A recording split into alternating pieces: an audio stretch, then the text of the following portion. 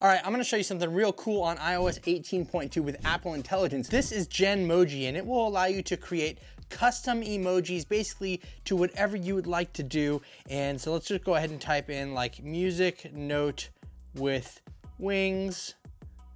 And you can see here that it'll start to populate that up at the top and it'll actually give us a few options here. So you can see we have option one right there. We can swipe to see option two we have option three, and so on and so forth. Now let's go ahead and create another one. Let's say dog holding a soda. And you can see here that it'll populate up at the top. And again, we'll get the same type of thing. We'll get our emoji there, and then we'll get several different options that we can choose from. Now, once we've found an option that we're okay with, we can go ahead and rate it we can tap these three dots to copy, share, save to stickers, or add caption, or we can simply just add it up at the top corner right there, and that will throw it right onto our message where we can go ahead and send it. But it's also saved down here in our emoji list, so we can quickly access that whenever we'd like and be able to send those emojis off just like that. It's pretty cool, and I'd love to know what you think.